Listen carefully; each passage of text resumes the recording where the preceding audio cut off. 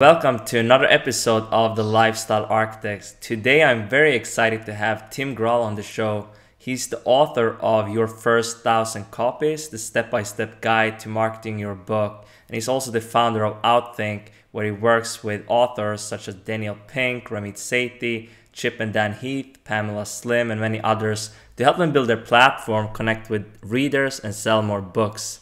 So that's a little intro. I read your book recently and it's really like to the point. So that's why I wanted to bring you on here as well, Tim. So welcome to the show. Well, thanks for having me. I've been looking forward to it. Definitely. So why don't you tell us a bit about yourself and kind of how you got to work with so many amazing big name authors early on when you got started? Well, I had been, um, I had gone to school to be a programmer, so you know I'd gotten out and gotten a couple of different jobs and was just freelancing, you know, building websites and um, for people. And at the same time, I had started a blog network in the cycling industry and really started learning about like marketing and how to get people to pay attention to what you're doing. And so I was just kind of doing that for different clients and you know freelancing for different people, and then about you know five and a half years ago, I started working with Ramit. He was the first author I ever worked with and helped on his book launch, and then uh, really enjoyed the work. And so I just started picking up um, other author clients, and about four and a half years ago, decided to just focus on that niche of helping authors. And really, the way that I got so many big name clients, it's always funny because I get asked this, you know, from on a regular basis, and I have to actually point you to somebody else. So uh, this guy named Charlie Hoehn wrote this little ebook mm. called um, the um, oh, what was it called? It was called the Recession Proof Graduate, mm. and he actually just released it on Amazon as a book, like expanded it and um, put some more content in it, and it walks you through this really simple process of learning how to um, pitch, doing a little bit of free work, and then turning that into paying clients and so that's what I did is I would I went to some of these big name authors. I would look at what they were doing and identify some things they could be doing better. And I'd send them an email offering to do a little bit of work for free. And I said my only you know the only thing I ask is at the end you'll look at a proposal to keep working together. And you know for Daniel Pink you know that was almost 5 years ago and we're still working together. And so um that's how I just kind of went out into the world and started building a name was just doing some work for all these different authors and not all of them hired me afterwards but if we did work together i could still list them as a client. Nobody had to know they didn't pay me. You know i still worked for them and they were happy with the work. And so it was a really good way to build up an early client base by just doing a little bit of free work helping them out and many of them turned into long-term clients some of them didn't but it allowed me to get my foot in the door in a lot of these places where normally you know they would if i had pitched them on just you know hiring me they probably all would have said no Mm, definitely, that's interesting. So, I mean, if you're just starting out, how could you maybe? I mean, if you're approaching maybe anchor clients, because that's kind of what I call them. They were big yeah. name clients, so that really helped you to get more big name clients. So, how can someone like go out there and really approach them? Like, it can feel very intimidating to go to go up to someone like Ramit Sethi and I mean, do work for him.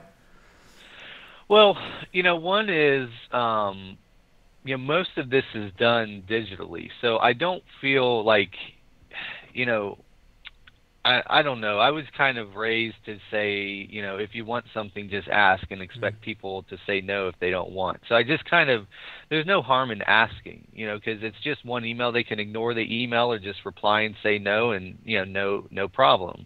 Um, it's not like you're like approaching them, you know, on the street or something where it'd be a little more embarrassing. But um, so that's what I think is just start with that. The other is, um, and again, I'm going to give you a quick overview, but you know, read Recession Proof Graduate. It's really good, and you just mm-hmm. basically identify some things that you think you can help them do. So you don't want to just approach people and say, "Hey, if you need anything, you know, you sh- I'll do it for free."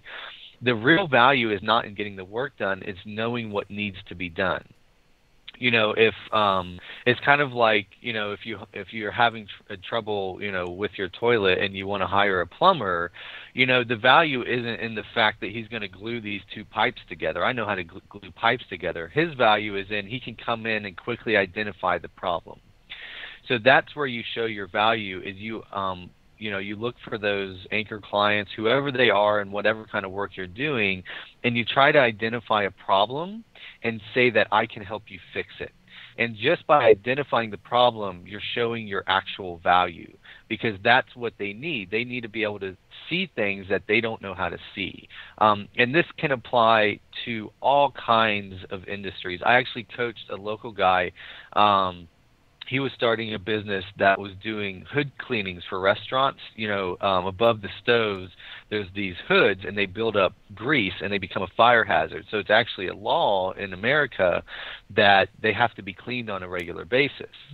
But I'm like, if you just went in, offered to show them your equipment, show them how you go about the cleaning in a very environmental way, and then also just point out a couple things they could be doing different to like lower their liability or like um or like safety issues.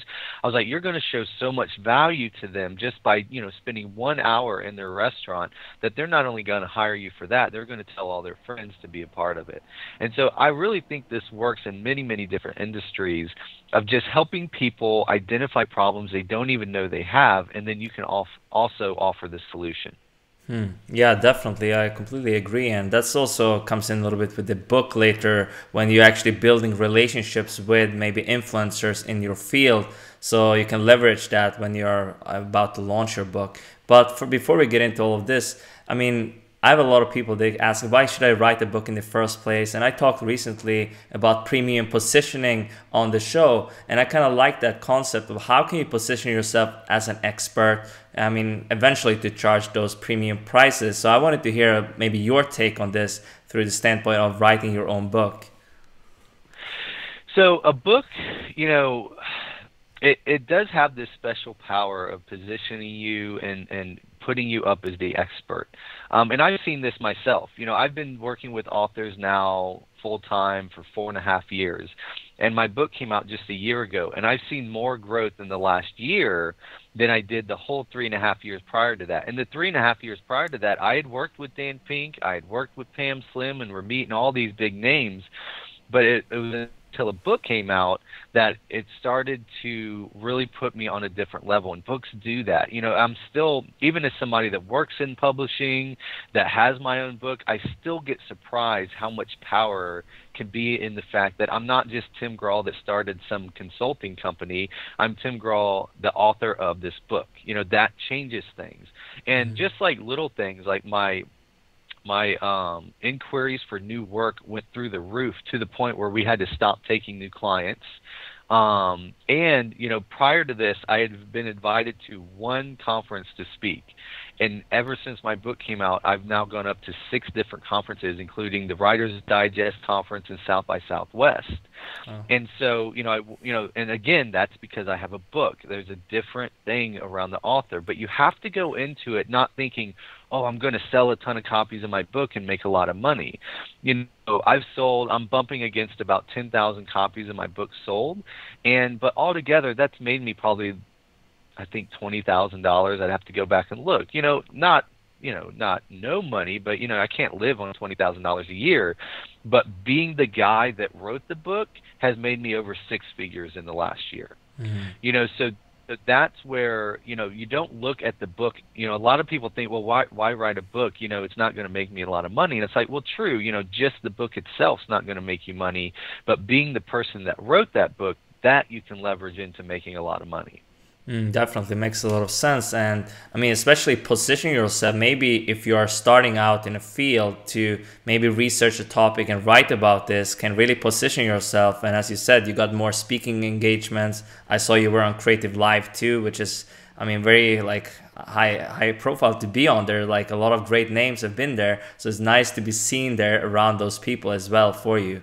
So that was that was that. And also kind of when you before you launch the book even in the first place is like building up this audience can you tell us a bit about your process before you launched your book you didn't have a large email list in the first place yeah, so when I launched the book, I had about 1,800 people on the list, and um, that allowed me. You know, my goal my goal with the book was I needed to sell at least a thousand copies because that was the book. Yeah. So um, my list of 1800 and I only promoted to my list. You know, one of the things I try to do is use myself as an experiment.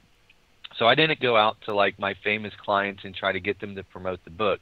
I pretty much just released the book to my own uh, my own fan base, and just with 1,800 people, I was able to sell a thousand copies uh, in two weeks. And so, and then what I've done is a lot of people think like, okay, I have to build this, you know, giant base of fans, and then I can launch a book and it will be successful. But I actually kind of take a different approach to that. I look at just like we were talking about, I look at the book as the way to build my audience. Mm. So I sold that thousand copies to my fan base, but then you know now almost a year later, I'm at almost ten thousand copies, and that's because I used the book to promote myself. So now um, I can go to podcasts that have you know big followings, and I can say, hey, you know, have me on your show. I'm the author of this book, and I get more inquiries. You know, you reached out to me to do this interview. You know, I'm getting more of those because of the book, and so I've used the book to grow my platform. Where now I have over 7,500 authors on my list, and when I come out with my next book. Um, I'm probably going to have closer to 10,000 and then I can make it even more successful. Mm-hmm. So um so then I can do a big launch with my second book, but with the first book it's a lot more about using the book to build my platform because this is a long game. You know, I'm not just trying to write this book to make a bunch of money this year. I'm trying to build a platform that's going to support my entire career. And so that's what I look at books to do is it, it's it's this thing that will help you build your platform um, long into the future. Mm, definitely, we can get into that as well. But what what's what some mistakes you've been working with a lot of authors? Uh, I don't know. Now you're also working with first time authors, I guess, since you recently launched a program. But what's some mistakes you have you've seen when they are publishing and marketing their first book? So um, there's you know there's kind of lots of common mistakes. The first one is just not thinking about marketing from the beginning. Mm-hmm. Um, you know there's still that kind of mentality That, you know two mentalities i see a lot are one is well if i get a traditional publishing contract with a traditional publisher they're going to take care of all the marketing and that's just not true. You know no matter who you are no matter what kind of publisher unless you are already an established author like stephen king or something you know all of the marketing is going to fall on you so that's the first thing is they're not thinking about marketing. They think somebody else is going to take uh, take care of it, and then they don't start thinking about the marketing until maybe three or four or six months before the book comes out, and at that point it's a little too late. And so I'm looking at well, how can I build a platform so that the book comes out of the platform and everybody that I've you know have followed me for all these years are now going to buy the book. You know, so I'm always thinking about marketing. I'm always thinking about how can I build my platform bigger so that when I release something, whether it's a book or something else, it's going to be more successful. Um, so that's the first thing. The second thing is getting really kind of strung out on all of these tools out there. You know, there's you know Twitter and Facebook and Google Plus and LinkedIn podcasting and blogging and Pinterest and you know like a, a hundred different things you can be doing to promote your book, and um, they all have their place, but you also can't do all of them well. And so I usually am like, you know, pick three things that you can do really well, and if you do those three things really well, it'll be way better than just spreading yourself thin across every platform out there. And so, you know, you have to start with building an email list. That's the most important thing.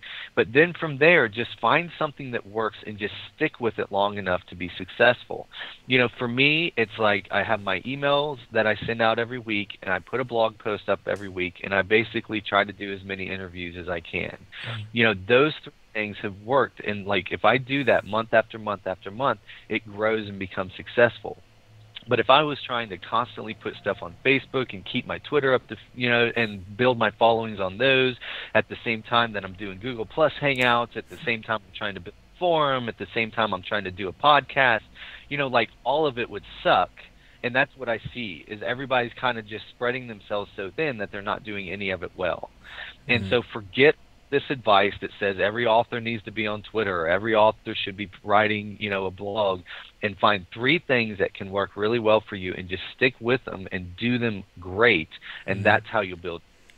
Yeah definitely. And that's what i kind of found in your book as well. You're all about the plan you know planning out this process before you even start writing or writing your book. You need to have a marketing plan kind of. So can you talk about this as well? Like you have kind of a systems based approach to all of this Yeah, so a couple fundamental things I try to do is um, make sure I'm tracking things and and being willing, you know, everything is on the table. You know, I will try anything that's not unethical or immoral um, or illegal to try to sell books. It's all on the table. But I also quickly push things off the table that don't work. So I don't have like sacred cows that I'm going to do this whether it works or not. You know, I am interested in whatever works. And so a lot of people, again, I you know I I'm always I'm always flagging on Twitter. Like Twitter doesn't sell books, and I see all of these authors trying to build this huge following on Twitter, and then when they try to sell books and it doesn't work, they just keep doing it, thinking, well, I'm wrong, and it's like, no, it mm-hmm. just doesn't work. Find something else that actually works. So that's the first thing. And then, yes, I try to step back and come up with an overarching plan because all of these things we've talked about the social media tools, blogging, even an email list they're just tools in a toolbox. They are not the point, you know, and it's like so many people just try it's like trying to build a house before you have a blueprint and before you have really have a plan and just like grabbing a hammer and some nails and hammering boards together and thinking it might turn into something beautiful no you start with a plan and then once you know what you're trying to build you can reach in your toolbox and grab the right tool. And this is the same way. You know every author needs to have permission to contact their audience. They need to be putting content out into the world and they need to be doing outreach so more people know they exist. And you have to do those three things. And what's nice is there's lots of different ways to do those three things. Mm-hmm. but you plan it out reach in your toolbox grab the right tool and then if that tool's not working throw it away and pick up something else. You know so i try to be systematic about trying something new and try to be systematic about testing to actually see if it works. So like actually right now i'm running a new facebook ads campaign and I'm I'm doing this, but I'm not just throwing my money down the hole. I'm actually I've read a lot on it. I've figured out what I think might work. Now I'm putting it in, and I'm actually testing on the back end to see if it actually sells anything. If it doesn't sell anything, I either need to throw it out or try something new, not just keep trying the same thing over and over. So that's you know that's the kind of thing is like I'm in this for the long haul. I'm going to try new things. I want to stay on the edge of what's working and what's not. But I'm also not just going to follow the masses because they say, oh, everybody should be doing this when I see clearly it's not working. Hmm. Yeah, definitely. I mean, it's we are all in this for the long run. It's not a sprint. Essentially, it's like a marathon. And I mean, is this what you call like? Yeah, you talked about permission, content, outreach, and then you track. We always sell and you track everything. But is that what you call the kind of the connection system that you have like throw it together? All of this. Yeah. So you know that's the that's kind of what the book is based on is the connection system, and that's the three pieces. You know, permission which is the ability to communicate with people that gets their attention and drives action. And that's where you need an email list. That's the most consistent way to communicate with people and get their attention. Um, and then you need content. You actually need to be putting content out into the world freely and widely. You know, that's blog posts, it's podcasts, that's all kinds of stuff. But you need people to be able to engage with your content to see if you're even a good fit for them. Mm-hmm. And then, of course, you need. You need a way to move people from not knowing you exist to knowing you exist. You know, I get emails from people on a regular basis that are like, you know, I have my website up, I've got my email list signed up, and I'm putting up a new blog post every week, but nothing's working. What's going on? Should I blog more? And I'm like, no, no, no, no. Nobody knows you exist. You have to go out and introduce yourself to new mm-hmm. people. And again, there's a lot of different ways to do that.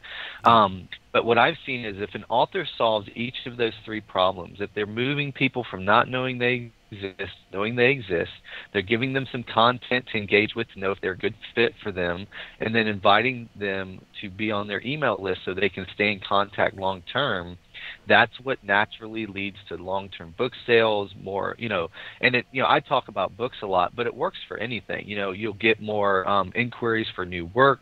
You'll get uh, if you products you'll get more product sales. You'll have that direct connection to people.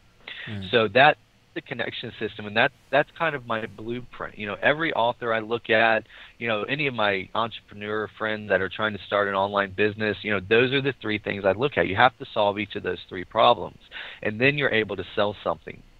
But you know, so many people start with a product and they don't do that first, or they're, you know, I've talked to a guy. Um, last year, and he speaks like 60 times a year all over the world. You know, all you know, each year he speaks to tens of thousands of people.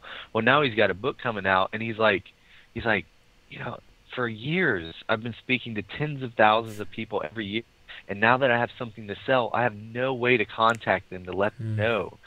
So he had solved his outreach problem. Tons, probably hundreds of thousands of people know he exists, mm. but he has no contact them to let him know that let them know something new is out.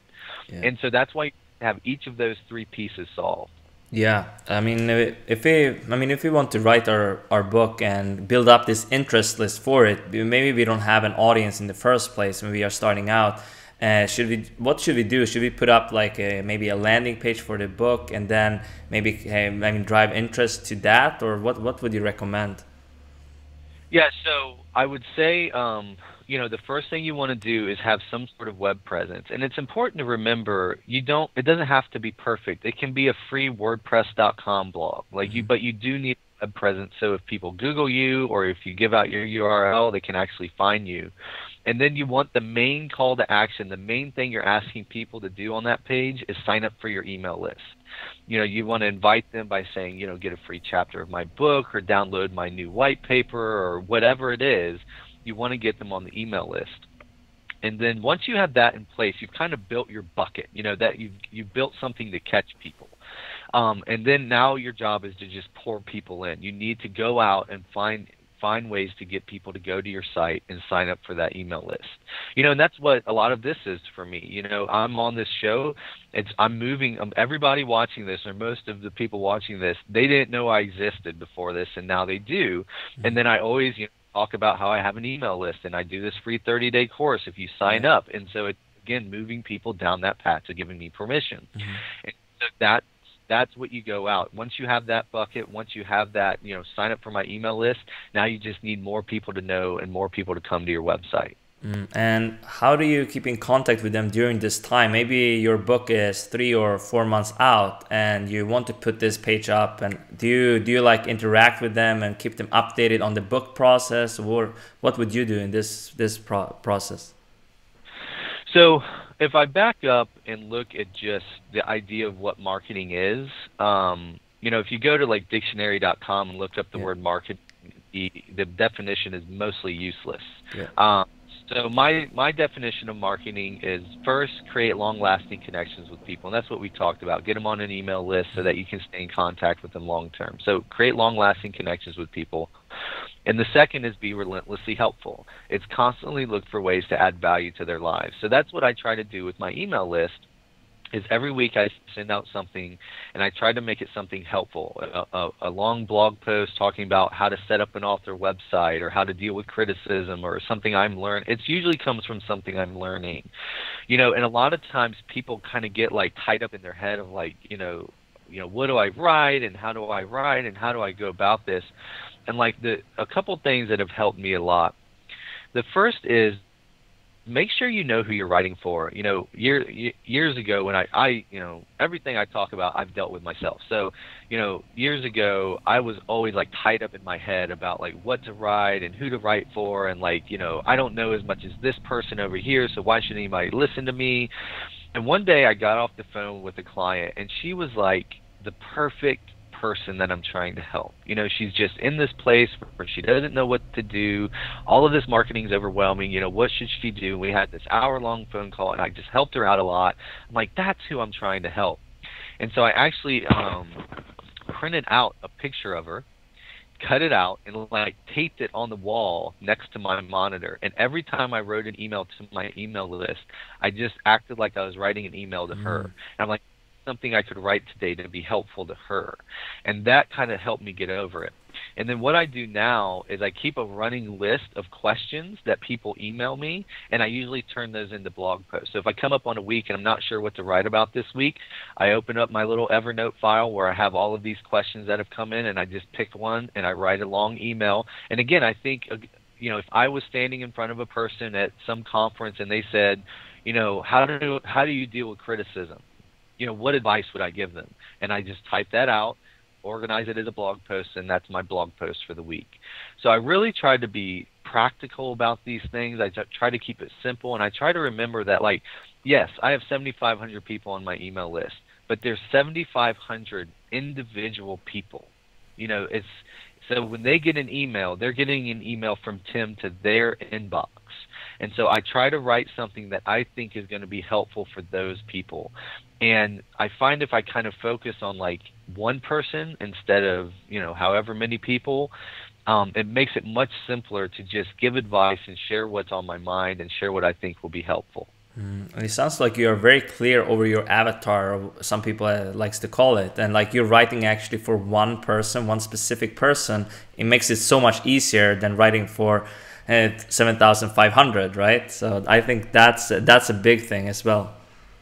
Yeah, and I had somebody um, ask me the other day. They're like, they're like, you know, I, I I wrote this email and I kind of poured out my soul into this email, and I had like ten people unsubscribe, and I'm like, yeah, I had 50 unsubscribed the other day. Like that's a, hey, that's part of it because when you're writing for a specific audience, there are pe- most people in the world are not going to fit into that. And so you can't worry about them. You know, I write for authors. The vast majority of the people on this planet are not authors.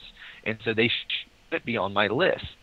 And so don't think about like, you know, I'm trying to write something so that if anybody comes along, it'll be perfect for them. Hmm. It's like, no, no, no, no. This is who I'm trying to help.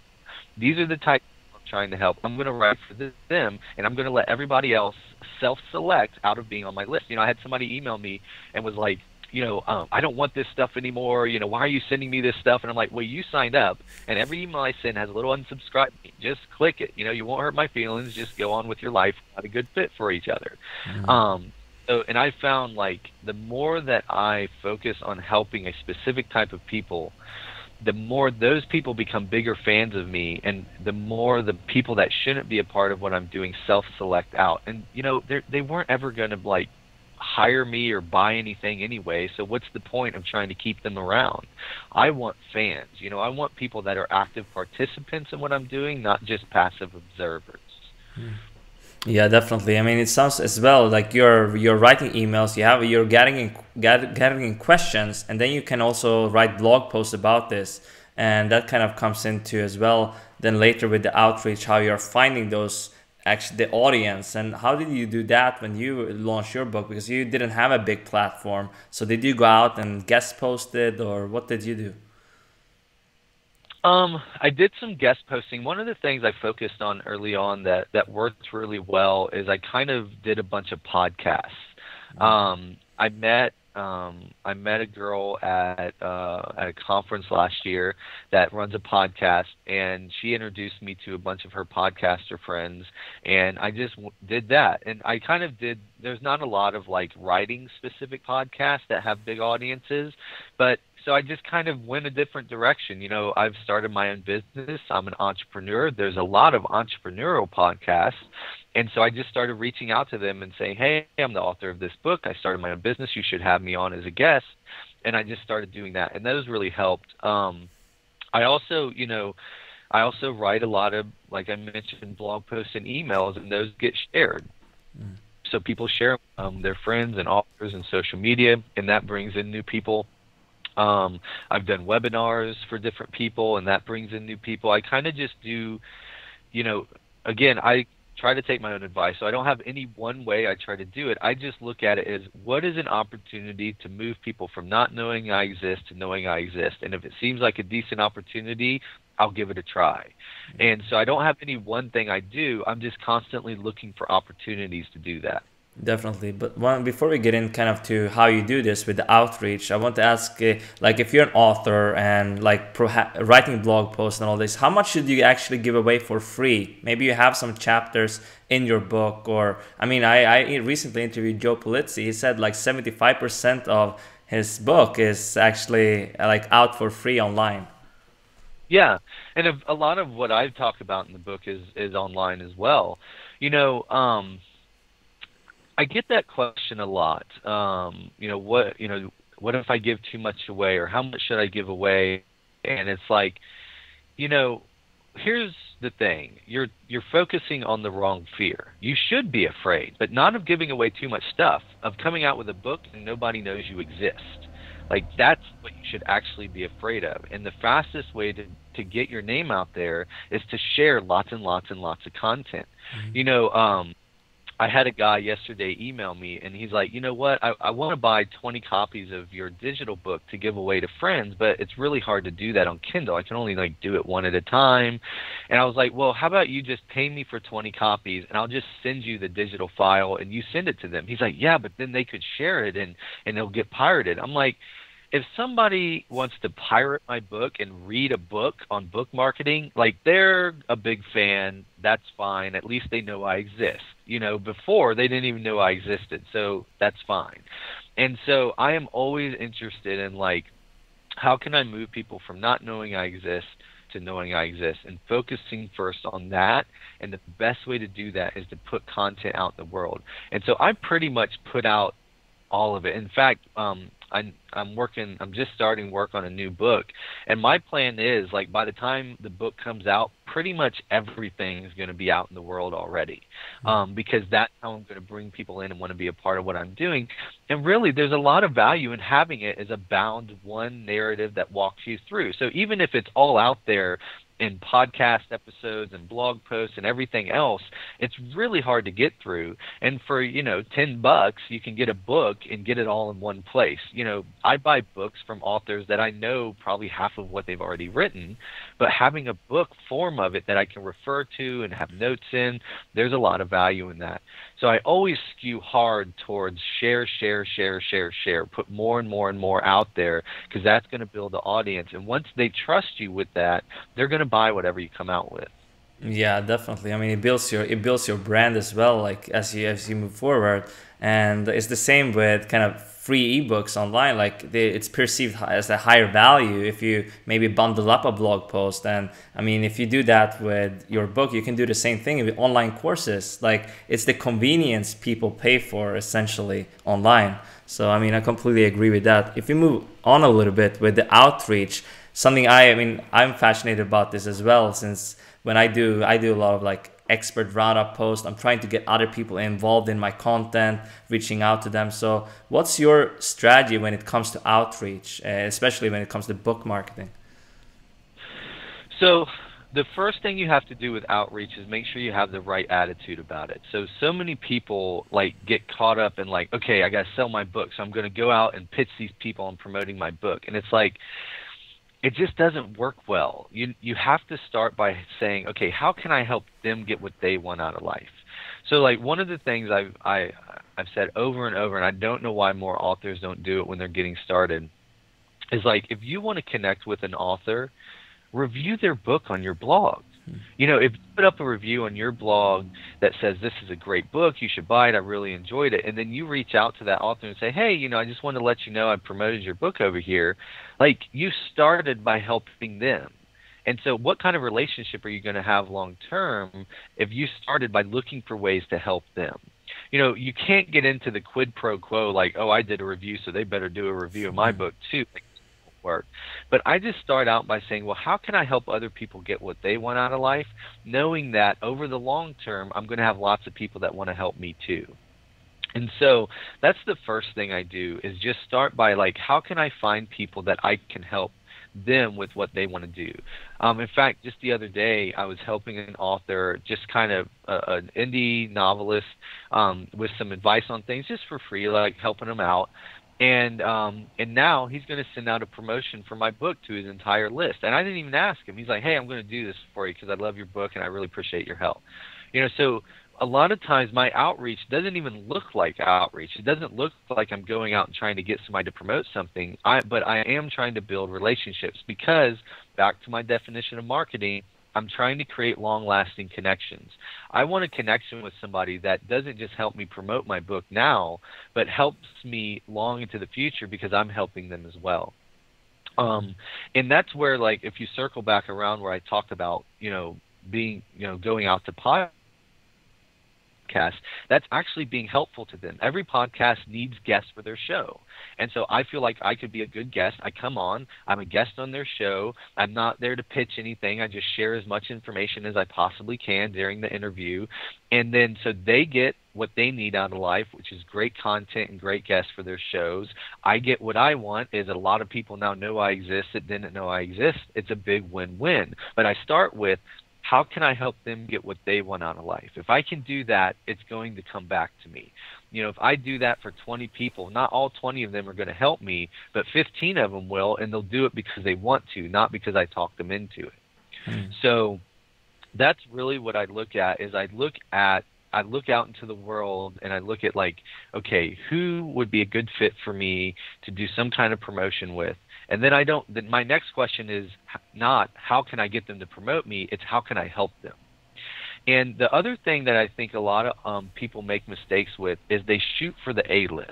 Okay, so you know if I'm like a C list author, I go out to like the top author in the world and try to get them to promote something or do something together. And that's a big mistake, not just because like you know you're so different like why should they help you you're not going to be able to help them as much but the the thing is is like a lot of times we think well everybody's getting a lot of requests 90 I would you know I don't have data to back this up but I would guess 80 to 90% of people are going to those A-list authors asking them for everything. I work for those authors. I know how many asks they get on a daily basis. Mm-hmm. So if I'm a list author, I shouldn't go for the A list because they're getting hammered with ask all the time, and I can't really offer them anyway. I should go to those B list authors because they're not getting asked for stuff every day, and I'm much more in a position to actually help them as much as they help me.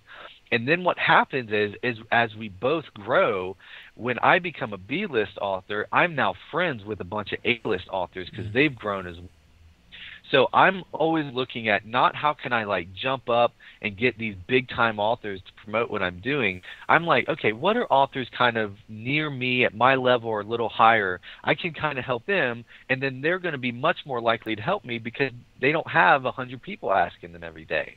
Mm. So other mistake is we we tend to want like these big time people to promote us. We want to be on the biggest blogs and we want to be promoted by the biggest authors and we want the best known author to put their blurb on the cover of our book. And it just doesn't work well. But if you can kind of partner with these authors that are still up and coming and you get a lot of them kind of in your corner because you've been helping them, you've been building relationships, you'll all grow together and then you'll look around and be one day like look i got like some of the biggest authors you know known as my friends. And it's not because i got one little blurb from them one time. It's because we've become friends and we help each other with everything now. And again that's that long term view. It's not about trying to sell extra 100 copies today. It's about wanting to be able to sell tens of thousands of copies down the road yeah, I mean, this is extremely valuable. I think, I mean, that's actually a lot of people, they make this mistake. They want to be featured on the biggest blog and they just started out. And the same with the people they reach out to. So I wanted to ask you, like, is there a specific way to kind of uh, reach out to someone? Maybe if someone would reach out to you, what's a great way to actually reach out to you and tell tell you that maybe they reviewed your book or they i mean they did something you know they wanted they, they want to actually become become on your radar essentially. Well the first thing and you know i'll probably sound like a jackass for saying this but i work with so many like well-known people that won't be honest and um like just not in a bad way. They just don't want to be mean. So let me tell you honestly how to go about it. If you want me to pay attention to you, the best way to do it is to do something for me first to come to me and say, "Look, I've done this." You know, if if an author comes to me and was like, "You know what? I bought a copy of your book for everybody in my writers group," even if it's just five people, I'm going to be like, "Thank you so much." Like that's how my book spreads: is one person getting five people to read it, and if they have a favor, I'm much more likely to look positively on that favor. So that's the first thing. That's and again, I preach that not just because coming to me, but because that's how people want to be approached, and that's how I've been successful. So, um, so start by looking for ways to help them. A secondary thing would be make their life easy make it really, really easy to promote your stuff. So um, let me give an example. So a couple years ago, I was working with this author on their book launch, and I identified this blogger, and I really, really wanted this blogger to promote my author's book. So um, here's what most people do. Here's what like most publicists do is they have like a canned email talking about how great the book is and hey, can we do something together? You know, and they send it out to everybody, and of course most people don't respond. And so this is how I went about it. I went to the guy's blog, the bloggers, uh, the bloggers blog, and I and I just read through, quickly scanned through the last like three months worth of posts and I just read through them, got a sense for um, you know what he writes about. And what I noticed was every time he promoted a book, he liked to do a Skype interview just like this with the author. And so whenever he promoted a book, there would always be a, a video embed of an interview with the author. And so I shot him an email and I was like, and I did a couple things. I was like, first, you know, I like your blog. I think it's great. Second, my author has a book coming out that's perfect for your audience. You write about this stuff. He also writes about this stuff. So it's a good overlap. And third, I see that you do Skype interviews, and we would love to do a Skype interview with you. You just let us know what works for you. And so I made sure he knew my content overlapped with his content and was a good fit for his audience. And I did my research to find out how he normally promotes authors. And the author immediately wrote me back and gave me a yes. And it was because I did a little bit of research and made it really easy for him to say yes. Because I'm like, I'm going to package what I do to exactly fit what you already do. So like if somebody comes to me and they're like, "Hey, will you do a blog post review of my online course?" And it's like if you look through any of my blog posts, I have never promoted anything. So don't ask me to promote something on my blog. But if you've been on my email list, you'll see that every once in a while I'll promote something from a friend of mine that's a good fit for my audience. So what you need to do is come to me and say, "Look, this is a great fit for you. I think that um, you would, your audience would get a lot out of it for these reasons, and I would love if you just put a little blurb in one of your newsletters. That makes it really easy for me to just write back and say, "Yep, write up the blurb. I'll drop it in." And it shows that you've actually done your research instead of like I'm just on a list of a hundred people you're blasting the same email to. So, you know, do your research and just have empathy. Like put yourself in the other person's shoes and think, well, what can I do to make their life easier? You know, if they regularly have guest posts on their blog, pitch them on a guest post because they need more guest posts. If they regularly have, you know, people on their podcast, pitch doing that. If they, you know, whatever they do, mold what you do to fit that so it makes it an easy yes. So it makes their life easy. Mm, definitely. I think definitely the research is important like especially if you're maybe if you're interviewing someone it's good to actually have have some knowledge of what they are about unless you are doing a very like scripted show whatever but you know i mean for this show, for example, Lifestyle Architects, I, I, I know about the people I bring on here because I really want them on my show. I'm interested in their work. Like otherwise, you know, you wouldn't be on here. So I think that re- that is really important. A lot of people miss this kind of research and they just want everybody's attention. But you know, if you go one by one, that's even more powerful. I think. Yeah, and again, um, people think that so there's people get confused on what a shortcut is so people tend to think a shortcut means, oh, I can just turn this stuff out and I'm just going to jump to the top. And it's like, no, no, no, no. There are shortcuts, but shortcuts are really just doing it right.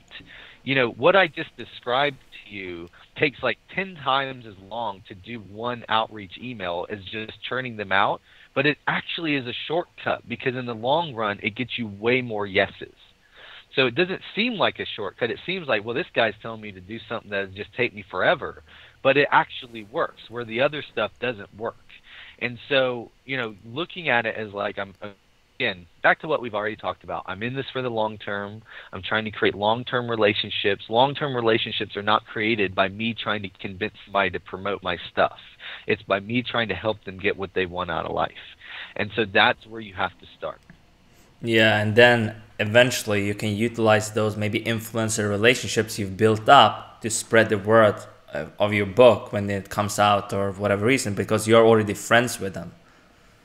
Right, and because you've helped them, they're going to want to help you too. Like just yesterday, I sent out a promotion to my email list, and one of my big clients, who, who I didn't even know was on my email list, he took it, put it on on uh, to all of his followers without me even realizing it. And uh, the only reason I realized it is somebody sent it to me. And so I was like, you know, that's the kind of relationships I want to create is they just because I've tried to be a part of what they're doing, they want to be a part of what I'm doing too because we both want each other to succeed. And so I will promote them and they promote me not because of quid pro quo or that I even ask. It's like, well, they like what I'm doing, they they respect it, and they want to be a part of it. And I'd rather have ten of those relationships than a hundred of people that I just cajoled into doing something for me once, because those ten people are in my corner and they're going to help me for the rest of my career. Mm, definitely. I want to get back to, I mean, the title of your book is Your First Thousand Copies. And I mean, thousand books sold. It's, uh, I mean, what, what's the average average of the books being sold? It's like 250 copies. I think I read that. I don't know if you, it was in your book, but, but uh, I mean, thousand copies, that can be a big goal when you're just starting out. But I mean, you, you say it's very attainable as well. So can you talk about that a bit and how maybe someone can reach this goal? Yeah, so um, most books sell about 250 copies or less. That's traditional published books too, you know. Um, and so, and if you think about it, like most of us have enough people in our life that we can get close to two copies. You know, mm-hmm. if you think about you work with, if you can convince your mom to buy a copy, you know, like, you know, if you can get kind of just your network of people to buy a copy of the book, you can usually get close to 200, 250 on your own. So that thousand book number is interesting because if you're able to sell a thousand copies, you've convinced about 750 people that don't know you personally to lay down money and buy a copy of your book. And once you've done that, once you've reached a thousand copies, it's much easier to go from a thousand copies to two thousand copies than it is from zero to a thousand and so that's why I picked that thousand copy name, um, that thousand copy goal, because if you figure out how to do that, you figured out how to get people to buy your book that aren't directly like for like you don't know them personally, and it's much easier to repeat that process to keep selling the book. Um, and so, but I've kind of laid out, you know, um, definitely. Get, and one thing I wanted to get to, one thing I wanted to get to before we move on is like, is I mean, you're not in this for the like. I mean, you told me you're in this for a long run, but the first week of the book is that important maybe for for it to become a bestseller, or what? What's your approach to this thing, especially on Amazon? I would I would say. So um, it depends on your goals, and you know this can be a big topic. And uh, if you just Google um, my name and like bestseller list must die, you'll mm. find this a long article I wrote on Hugh Howey's blog uh, about okay. what goes in. I will link it up in the show notes as well over at navid.me slash 36. So I put it in there as well. Okay, perfect. So um, if you if you're curious about how like the big best selling bestseller list work, that's kind of where I wrote it up. Um, as far as how the Amazon bestseller works, it's much more like if you sell a bunch of copies in a short window of time, you'll spike in ranking. Um, so um, it can be important to yeah you know when a book first comes out you want to sell a lot of copies. You want to have that big push. Your rankings go high. Um, lots of people buy the book at the same time which means they're telling people about it. Um, you know and you know everybody that buys your book is somebody that's going to potentially tell somebody else to buy your book. So yeah it's important to do a big push in the beginning to get all of the people connected to you to go ahead and buy a copy and that's really really important. Um, so, but what I what I want to encourage people is like it doesn't actually matter that much long term. So, um, so again, I sold a thousand copies in the first two weeks, but now I'm about to hit ten thousand copies, and that's because I just keep promoting the book year after year mm-hmm. or month after month. And you know, Dan Pink, I did an interview with him a while back, and he talked about he's like every time I come out with a book, that's the next two years of my life. Mm. You know, you know, when his book, his last book, To Sell Human, launched, it went to number one on the New York Times bestseller list. But he didn't stop. He keeps promoting it, keeps promoting it, keeps promoting it, and that's how he sells hundreds of thousands of copies. Where other people that hit the bestseller list still only sell 10, 20,000 copies because they hit it, they completely stop, and that's all their book ever does. And so, yes, it's important to do. A, if you have a platform, do a big push, sell a bunch of books right at the out of the gate. But that's not it. You have to keep going, keep going, keep going. Definitely, but you you use your email list, own basically only your email list and like some outreach on podcasts to kind of launch your book. You had 1,800. Now you grew, grew it over the last year, obviously. But uh, um, is that the way to do go about it? Like like pushing it to your email list. How much can you push it to the email list? Should you like send out a bunch of emails, or what's the approach there? I actually sent out nine emails to my list to promote it, which is way more than what most people are comfortable with. But I found a couple things. One is with with all but like two of those emails, I sent out content with it. Like I, I tried to make the emails stand alone as helpful, while also using them to promote the book. Mm. So I would say, you know, here's a here's a portion of my book I think you'll find really helpful. I'd share that portion of the book, and then I'd also say, you know, this is part of the book. You should pick up a copy to read the whole thing. So I found that the that people will stay with you. They'll open lots of emails. They won't unsubscribe as long as you're trying to be helpful, as long as you're sending good content. But I am also not shy about promoting my work. You know, I truly believe I've written one of the best books on book marketing that's out there, mm-hmm. and that the more that buy my book and read it, the better off they're going to be. So I'm not shy in asking them to buy a copy of the book because they're going to be better off if they do. Um, so I, I send lots of emails.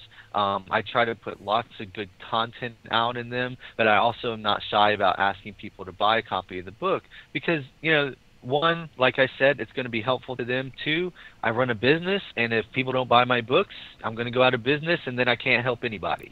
Definitely. And so uh, I try to, and if people and people do get annoyed when I try to get them to buy something, mm-hmm. but that's okay. They can unsubscribe and go get free stuff somewhere else you know, I'm going to give a lot of, you know, I try to, you know, probably 95% of the content I put out is just free content, no strings attached. And then the other 5%, I try to promote some products. That's how I stay in business.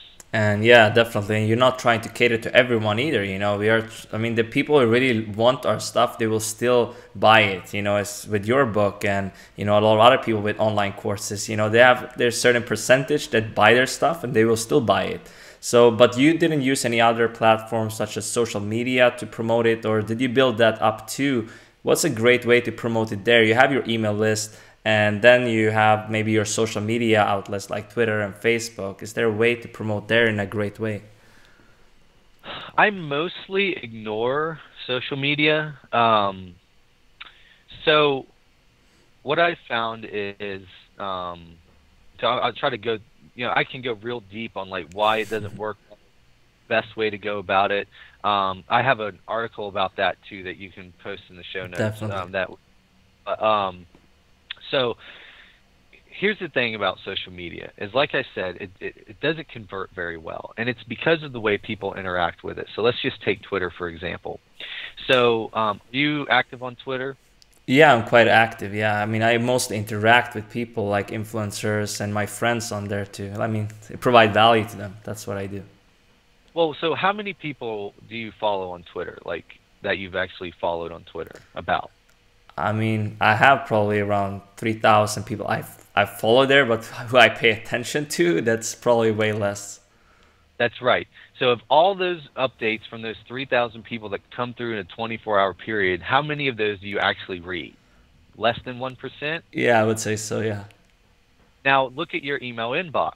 How many emails do you get that you at least look at? Out of the 100% of emails, what, probably 90, 95%? Yeah, pro- probably something like that, yeah.